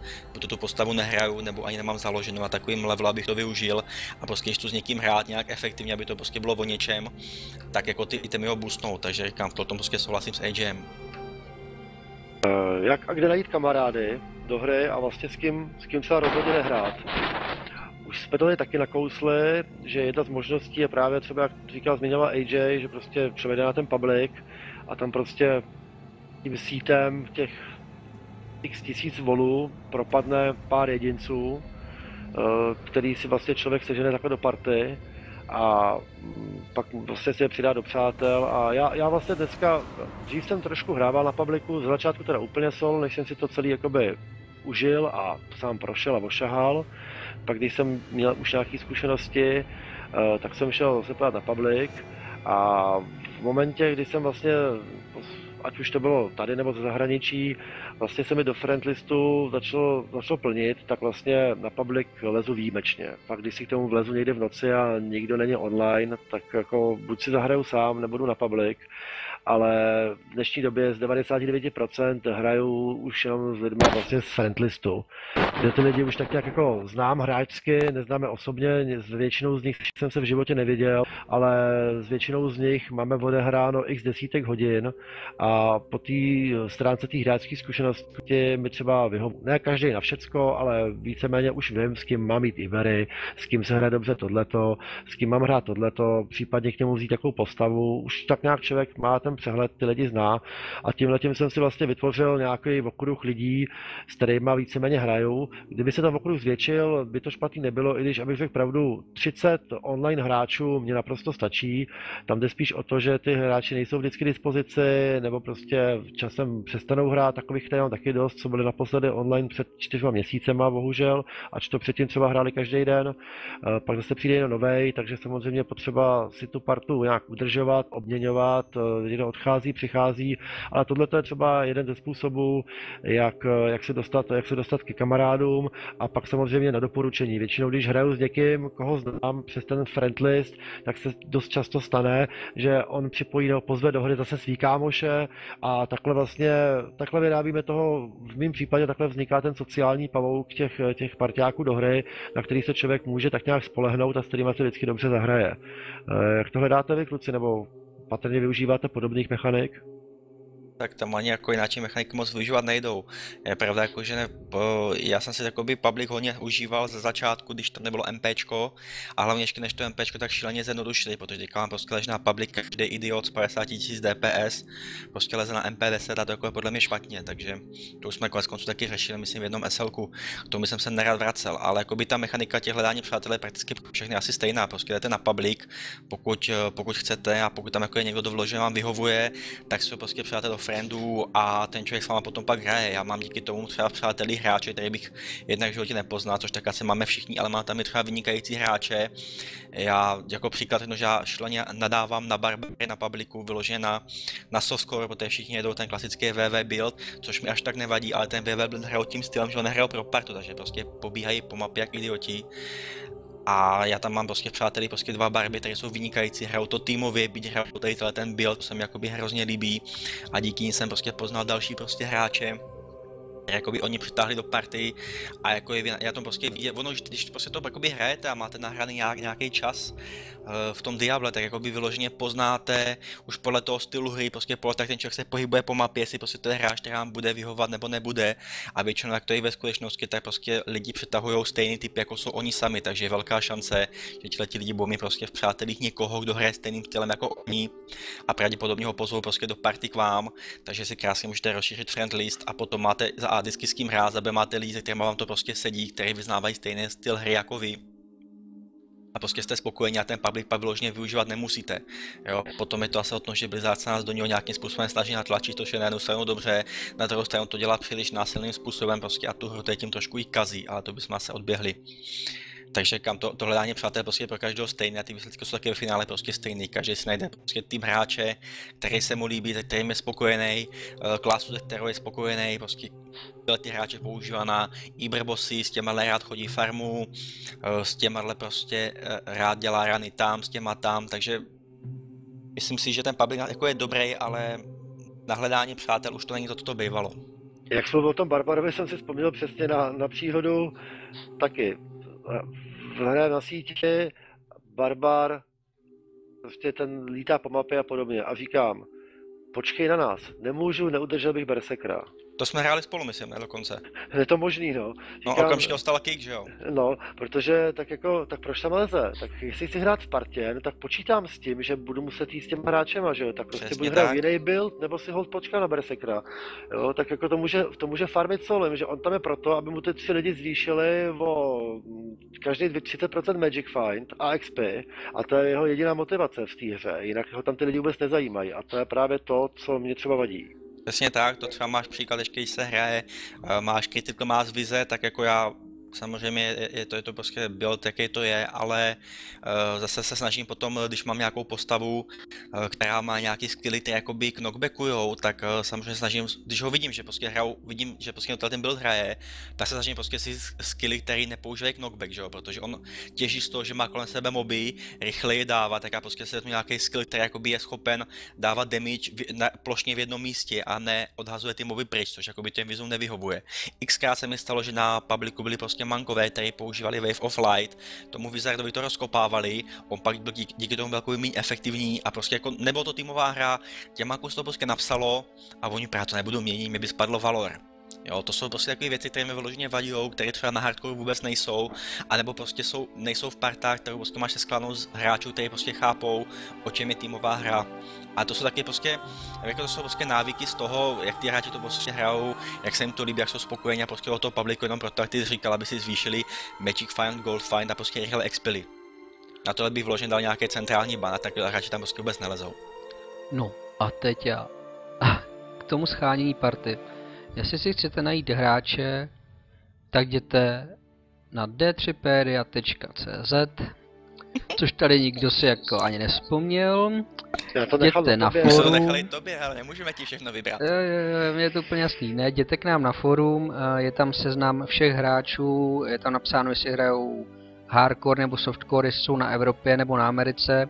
Připište se tam, zkuste pár lidí kontaktovat, další věc, máme taky samozřejmě PvP stránku, D3 PvP Maniac, eh, kterou najdete v levém menu u nás na d3pera.cz. Tam jsou battle tagy zase hráčů, co hrádi hrajou PvP, který můžete zkusit napsat. Samozřejmě jsou to taky farmáři, protože musí farmit, aby měli dobrý PvP věci. A pak samozřejmě taky to najdete u nás v menu k nám na Mumble. Je nás třeba teďka je nás tady na Mumble 24.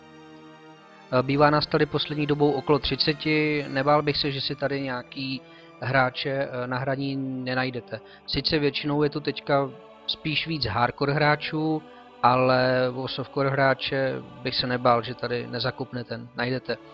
Takže choďte k nám na stránku, pokud se ty lidi, co mluví česky nebo slovensky, nebo co píšou česky slovensky, pojďte k nám na stránku, rozdejte info o nás všem možným lidem, co tady jsou, s kterýma hrajete, pojďme, pojďme všichni k nám. Ať jsme jedna velká skupina a já jsem z vaše spokojená máma.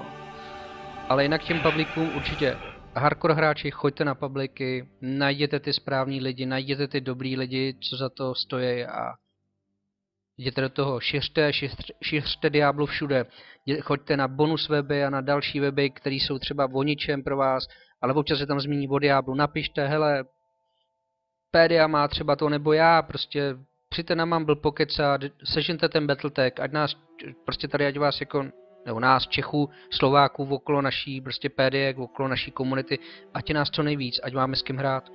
Snažte se šířit prostě, protože tady ta komunita v Čechách na Slovensku je malá, oproti jiným zemím, logicky, je, je tu málo lidí, je o to ještě méně hráčů.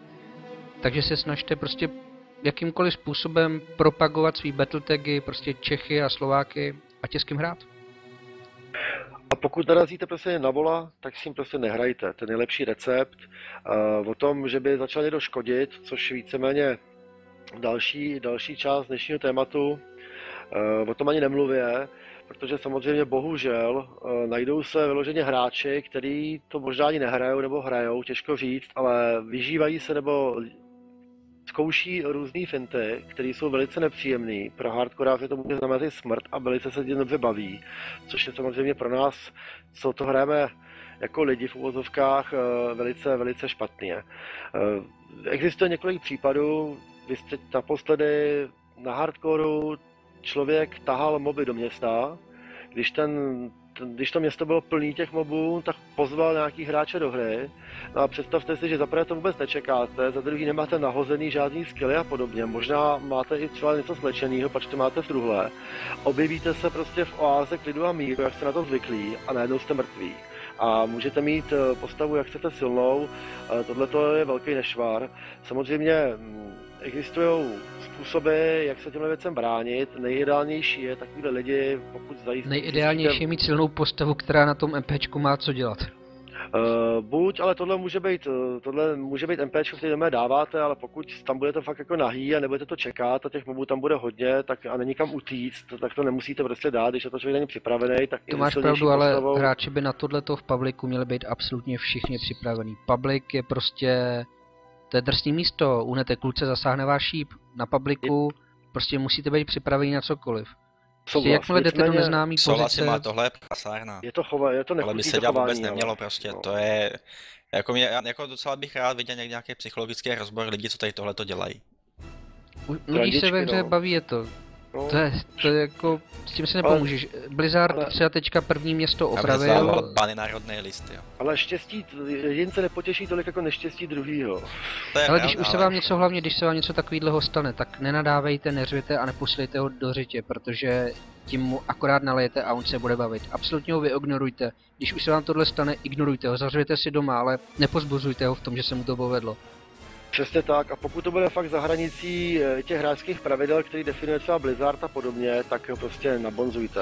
Blizzard na to má vyloženě celý systém nahlášení lidí, co obtěžujou, ať už vás obtěžují fakticky, že na vás třeba znají kontakt v reálném světě nebo ve hře, ať už vám nadávají, posílají vám cokoliv, nebo vás prostě nějak buzerují, prudějí jakýmkoliv způsobem, nebo snahy o vykradení účtu, ukradení itemu, napadení vaší postavy, jakkoliv softwarově, nahlásit to formou prostě buď exploit nebo něco, mají tam několik kategorií a nabonzovat tyhle hráče. Nejlepší způsob, jak se jich zbavit, je prostě nechat Blizzard a s nima zamete, protože... Hlavně prosím vás lidi, když tohle bude nezapomeňte, že nesmíte nad tady těma věcma nesmíte hodit rukou, ale co, idiot, jdu dál. Ne, tohle si nesmíte říct. Musíte říct a nabonzovat ho. Možná vám nepřijde správný někoho práskat, ale takhle prostě lidi ubližují nám, všem, protože ničí hru, můžou tu hru lagovat díky botům, můžou všechno. Ne, nenechte to za sebou, nahlašte ho, stojí vás to jeden klik a stojí to za to, budeme mít lepší čistou hru, protože chceme mít hru, kde prostě budeme mít příjemní lidi, kde bude co nejméně volů a kde bude s kým hrát. Tady tím tomu pomíhá, pomáháme. Nebo vy tomu pomáháte, když ty lidi nahlašujete a tak dále.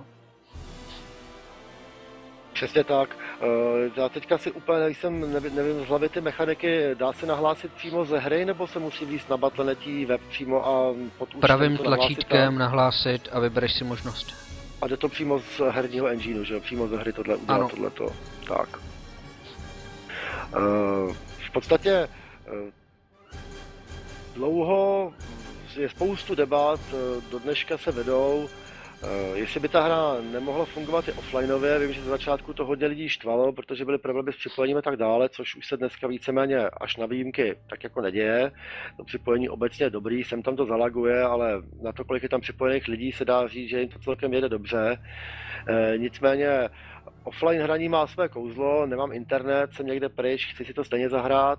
A na druhou stranu právě to, že ten účet je pouze online a že ten systém je tak, jak je, tak je to vlastně jeden ze zásadních kroků proti tomu, jak se vlastně bránit vůbec proti různým těm, těm hackům a exploitům, protože v momentě, kdy ty savey jsou uloženy lokálně, což samozřejmě mm, bývalo, tak eh, tom se každý může vrtat a jak ve dvojice, tak v jedničce si pamatuju, že tam jako se čítovalo o 106 a nedělat to dobrotu. Samozřejmě někdo může namítnout, dobrá, tak budu mít Battle.net verzi a oddělenou on, offline verzi, Ovšem eh, zase je to nepříjemný v tom, že pokud si budete nějakou postavičku šlechtit v offline verzi, tak vám bude potom hrozně líto, že si ji nemůžete v podstatě jakoby mezi lidi v uvozovkách, že si ji nemůžete ven a vlastně si musíte víc nezávisle dvě postavy, jeden pro ten světlý sítě a jeden pro ten světlý lokální. Takže to si nemy, to nevím, jestli by mělo úplně ten správný, správný význam. Co si kluci myslíte vůbec vy o té offlineovce? Potřebovali jste to dneska vůbec? Chcete to? Nebo Blizzard, to, ne... Blizzard to udělal dobře offline hraní je mrtvý, eh, online hraní je správná volba a nemyslím si, že je to kvůli pirátění a tomuhle, myslím si, že je to kvůli, právě kvůli sociálním funkcím. Online hra prostě ti umožní prostě sociální cítění hráčů. Eh, na co potřebujete offline? Offline je na nic. To je, to je dávno přežitej, přežitá věc offline hraní všechno, co je teďka, když už to má třeba offline mod, jako třeba Battlefield, stejnak, kdo, kdo hrajete Battlefield uh, kvůli single hře? OK, zahrajete si to za dvě hodiny a pak co jdete dělat? Jdete hrát mulťák. Prostě všechno je teďka mulťák. Hráči si nekoupí single hru, kde nemůžu do mulťáku v podstatě. Proč by to dělali? Dám 900 za to, že si to párkrát zahraju sám, bez nikoho? Dám radši 2000 a vím, že můžu hrát se spoustou lidí, že budu mít přídavky zdarma, v podobě třeba Diabla, když pominem datadisky, myslím content z patchu. Prostě offline je dobře, že to udělali online. Je to jenom a jenom dobře. Podporili, podpořili tím vlastně Battle.net 2, podporili, podpořili tím sociální cítění, podpořili tím vlastně všechno, co si hráč může přát. Hráč prostě není odříznutý od světa. Jestli si chcete hrát sami, můžete. Zahrajte si hru sami, nikoho tam nepouštíte a jděte si jak chcete. Ale online je prostě správná volba a jsem rád, že to Blizzard udělal. Už nikdy víc offline hry, co se týká těchto typů her. A já bych to bral jakoby celkově. Online, online. A neviděl vlastně bych taky... tím žádný piráctví, bych to neviděl. Když třeba, ještě, promiň, že jsem do toho skočil, ale když třeba nedávno teďka uh, Josh Mos- Mosquera a další uh, říkali na, na E3, teďka nedávno, tak tam třeba vůbec nezazněl argument uh, jako o piráctví. Tam prostě zazněly argumenty proč mít hru online a já si se všema absolutně stotožňuji a jsem, jsem rád, že tak jsou. Prostě offline hraní je přežitek, je to mrtvý z mého pohledu a už nikdy více k tomu. Toho jsme si nahráli dost, spousta lidí hrála Diablo offline třeba tři roky. A co by za to dalo, dalo se bavit s kamarádama a hrát to ve čtyřech nebo v osmi? Já s tím v podstatě souhlasím. Vlastně jediný, jediný odkud se ty breky offline ozývaly, byly v rámci závislosti na tom připojení na internet, že když ho nemáte, že si nezahrajete, ale... Eh, Já myslím, že to bylo v rámci závislosti na pirátění. A otázka je, jestli to právě má nějaký důvod, tak přesně říkáš. No, pro mě to asi taky žádný důvod nemá. Když si budu chtít zahrát online, offline hru, tak si prostě zahraju Skyrim nebo Oblivion. No, pokud budu chtít hrát Diablo, tak jako uh, hraju ho v podstatě zásadně hraju to solo jenom, když fakt není nikdo, anebo se, nebo, nebo si začínám expit postavu od začátku, tak si to jako sám projdu a tak, nebo ze začátku jsem si to prošel, abych si to sám ošahal a tak dále, ale jinak 99% dnešního hraní je s kámošema na síti. Jednak mi to víc baví, ten sociální kontext, máte s kým pokecat, člověk tam není prostě sám, je to zajímavější. To je, kdybyste v hospodě prostě pili pivo a nebyl tam ani pingle. No, to prostě... hele, ono na, na, na hraní samostatně single hry nepotřebuje nepotřebujete mít offline mod. To je hezká výmluva, ale nepotřebujete ho. Můžete mít online hru a můžete hrát sami. Tak tak. Takže já osobně ten offline, já ho taky nepotřebuju a samozřejmě to pirátství zmínění tam nebylo, ale rozhodně, rozhodně se to, je, je to logická věc. V momentě, kdy tím mají oni kontrolu na tom serveru, tak samozřejmě ta možnost toho, do toho zasáhnout eh, se diametrálně snižuje a konec konců je to vlastně i na té hře samý vidět. Jako v podstatě pokud neudělá Blizzard sám chybu, kterou někdo objeví eh, v té hře, tak uh, se dá říct, že je to celkem imunní, protože já jsem se osobně kromě těch chyb, co občas jsou po nějakým peči a většinou se o té chybě dozvím, až posléze, že byla zadělaná, že tam taková chyba byla, o některých vůbec nevím, protože já nejsem notoricky vyhledávač děr a jejich zneužívání či využívání. A zase jako až tak, jako že bych to hrál 24 hodin denně a přišel šel tam úplně na každý detail, co se tam kde šustne, to taky ne. Takže mm, já jsem nezaznamenal, že by, že by to bylo nějak děravý. V podstatě ze všech onlineových her jsem zatím jakoby těch uh, incidentů v uvozovkách nebo pokusů o něco zažil, nezažil žádný u Diabla 3 zatím, což jako u těch ostatních her nebo starších se rozhodně říct nedalo. Na Diablo jedničce i dvojice jsem na, na, na netu zkoušel, zkusil pár velice nechutných záležitostí, kdy jsem přišel dvakrát o postavu a jednou jsem měl hodně poškozenou. Takže to opravdu bylo hodně špatný. Mezi tím, co na té trojce, se mi tohle ještě zatím vůbec nestalo a nevím o žádným jediným eh, postupu, že by to nějak šlo hackovat nebo si tu postavu nějak měnit nějakým softwarem podobně na tom jejich serveru. Takže já jsem, já jsem jedině rád a jak přesně jak říkáš, sociální kontext a aspekt, dneska prostě je to všechno o sdílení a o té partě a já osobně to v tom taky vyžaduju, takže mě by to ani nebavilo. Rozhodně tenhle ten typ hry offline říká i, že správně, pokud si to chcete zahrát sami, máte tu možnost stejně i na té síti, nikoho tam nepustíte, založíte si hru a hrajete si ji sami. Takže jediné, co potřebujete, ten, ten internet, ale to je tak všechno. Takže já, já jsem osobně jsem pro. Za začátku jsem s tím taky trošku problém, spíš filozofický než nějaký věcný, ale přenesem se přesto a jsem naprosto spokojený. Má to jenom a jenom výhody, včetně možných hotfixů, updateů přímo ve hře, úprav přímo ve hře, všeho přímo ve hře. Prostě jediný, co to může mít nevýhody, jsou lagy, ale tak na softu je vám to v úvozovkách jedno a na hardcore s tím počítáte. Uh, když jsme u toho, mm, u té u, tý, u toho chování těch hráčů a u těch jejich neřestí, uh, tak Diablo jako business, případě vliv ekonomiky a aukčního domu. Uh, určitě existují účty a na netu s tím byly nějaký, o tom bylo něco popsáno, kde vyloženě jsou návody, jak vydělávat třeba na Diablu a vůbec to nemá nic společného s hraním. Vy ten profil vlastně, vy používáte vlastně pouze akční dům a vlastně jsou lidi, co to používají na šmelení, potom skupují určitou komoditu, pak ji vlastně zase jako prodají a tak dále za nějakou vyšší cenu podobně, protože eh, třeba u Gemu, tam se ta, průměr, tam se ta nákupní cena určuje posledním průměrovou cenou, za kolik byla nakoupena. To znamená, že pokud tam eh, děláte nějaký velký kšef, tak tím vlastně změníte ten průměr uh, toho té ceny a obratem na to můžete nehorázně zbohatnout. Uh, takový, takový hráči taky jsou, jsou dokonce firmy, co se tím zabývají, co radí, jak tohle to dělat. Je kolem toho prostě docela slušný biznis. Uh, co si o tom myslíte, kluci? Vůbec v AHčku. Já vím, že třeba AG ho nepoužívá vůbec, já ho používám na softcoreu, na hardcoreu tak jako skoro vůbec.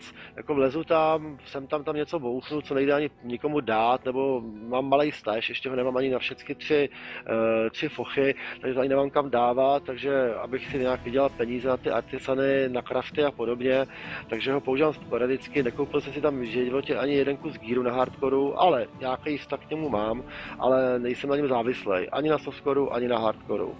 Osobně si myslím, že aukční dům není špatná věc, původně to mělo být zamýšlený vlastně, aby se ty věci, protože přirozeně ty lidi mají nějakou tendenci směny, spolu ty věci měnit, obchodovat a předávat si je, to je samozřejmě v pořádku. Eh, před tím aukčním domem tak se to vlastně prodávalo různě pokoutně na webech třetích stran, kde se pochopitelně množily podvody a tak dále což, eh, což asi nebylo dobrý, takže aukční dům eh, tady hlavně z tohoto důvodu vzniknul.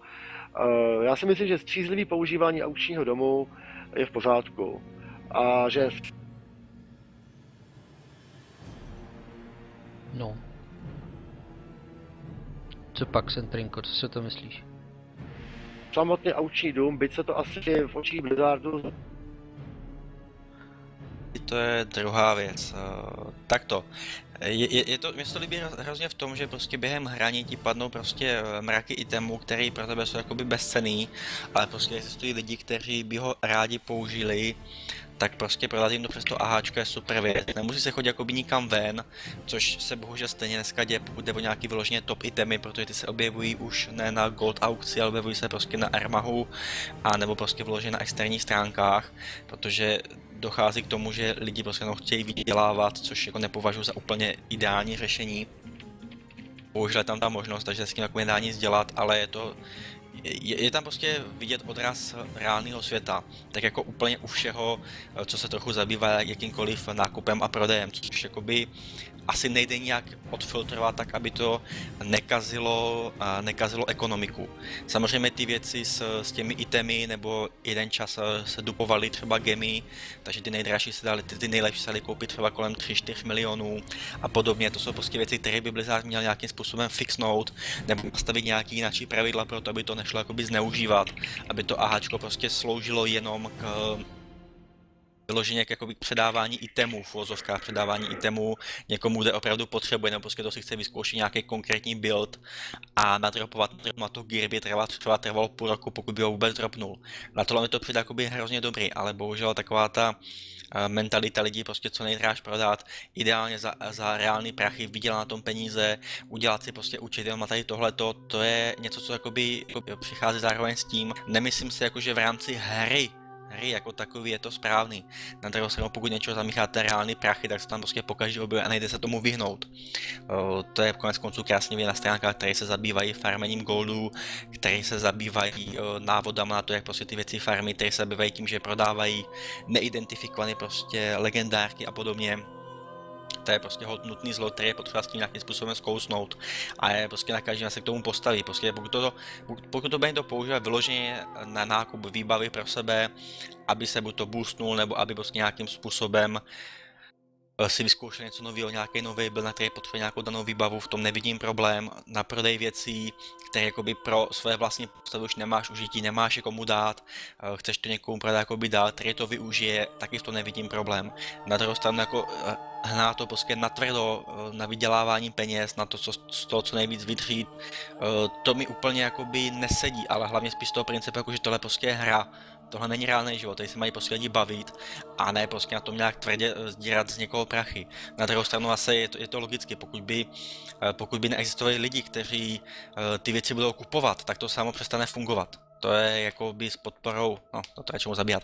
Ale prostě pokud by to lidi nekupovali za reálný prachy, pokud to lidi nekupovali za ty přemrštěné sumy goldů, tak to tam nic ty prachy dávat nebude.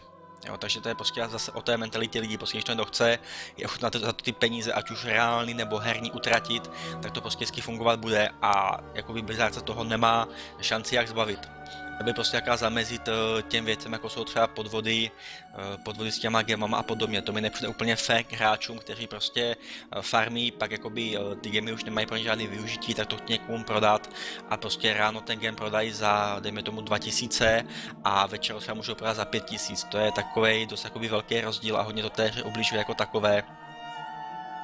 Eh, co se tý, to, to, to, to, to, je to, co se týče softcore, samozřejmě to, to už se do, uh, zavádí i na hardcore, by tam teď něco jakoby někde jinde, je tam určitý uh, jakoby odliv těch itemů, ale už to není takový, jako to bývalo, takže ty ceny prostě taky pomalu a listě klesají, už se dají na AHčku prostě se na věci, které tam dřív jakoby byly prakticky nedostupné a já osobně jako zastávám ten názor, že na software jakoby AHčko využívám, eh, na hardcore ho využívám jenom občas, buď to když chci něco prodat, nebo když chci prostě jakoby něco zkusit nebo takhle, tak jakoby nejsem vyloženě jakoby proti tomu, že bych hrál úplně bez toho, mě to prostě baví, jakože ta mechanika od obchodu, ale ta mechanika od obchodu jako takovýho, že prostě čistý obchodu, ne podvádění lidí a podobně, jako být zevřít člověka úplně ze všech peněz, to se mi vloženě nelíbí, protože prostě má to být hra, eh, o tohle máme reálný život, eh, pokud chcete někoho obrat, eh, tak jakoby, když vám to funguje na AHčku ve hře, tak by vám to mělo fungovat i v reálu, což jakoby není navádění, to je spíš taková jakoby jednoduchý zamýšlení se nad tím.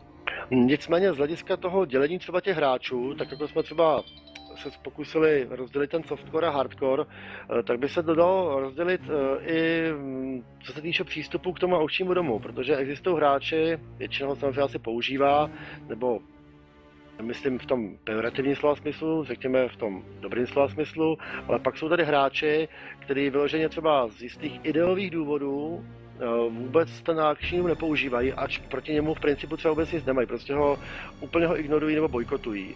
Třeba AJ, jaký, jaký je tvůj důvod vůbec nepoužívání aučního domu? Je to opravdu, jakoby, že, se ti, že, že se ti příčí vůbec jakoby, ta, ta směna za goldy, nebo tenhle ten způsob obchodování, nebo prostě je to pro to je větší challenge si zkusit vyloženě self-found postavičku a z tohohle toho důvodu nevyužívat ten auční dům?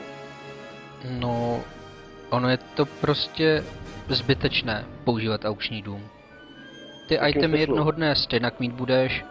A proč eh, svý těžce vydělaný goldy ve hře dávat cizím lidem za věc, eh, která mě možná na chvíli pomůže a pak si stejně dropnu nějakou jinou nebo s ní umřu.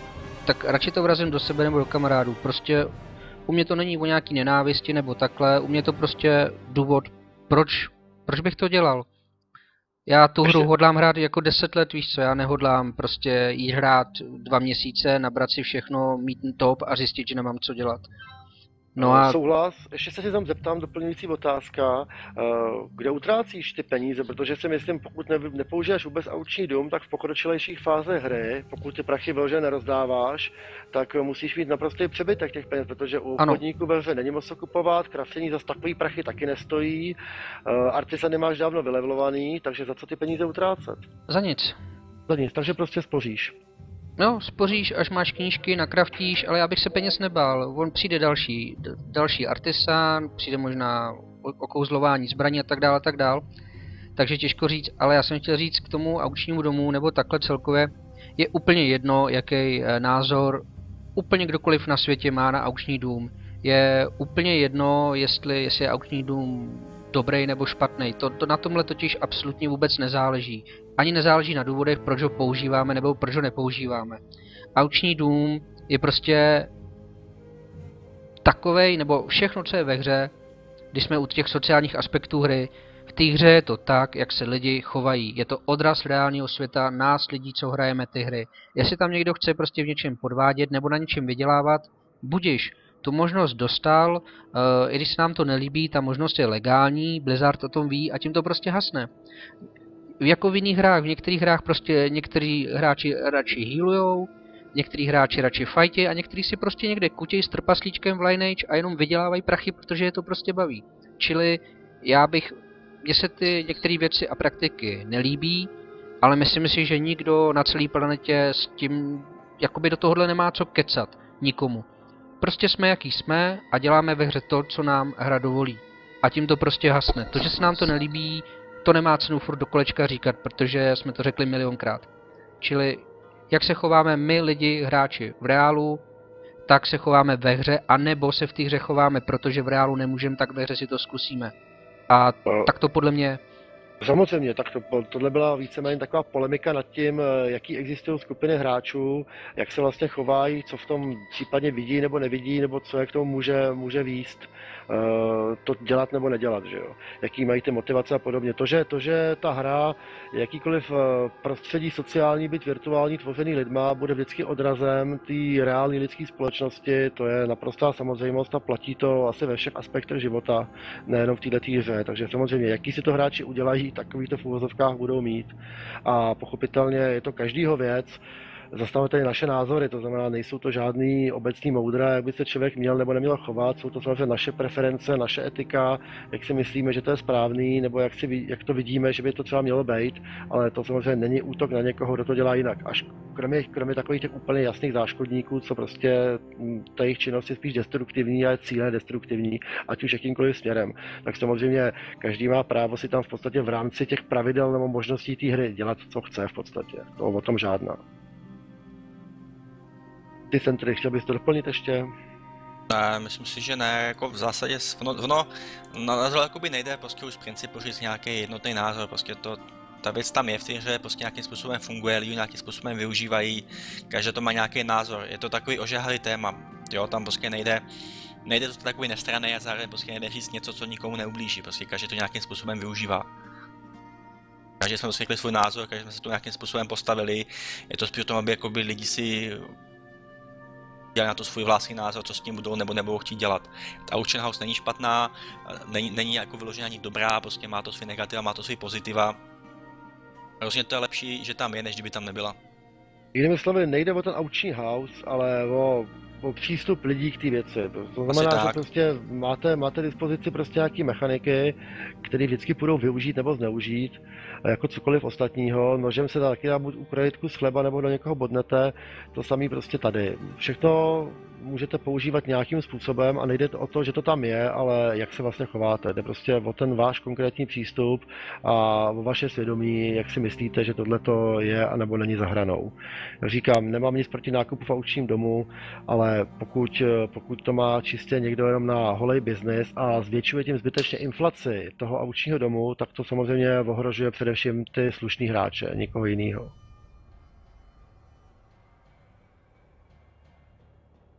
OK, co tam máme ještě? Já myslím, že jsme to víceméně dneska probrali tak nějak asi celkem.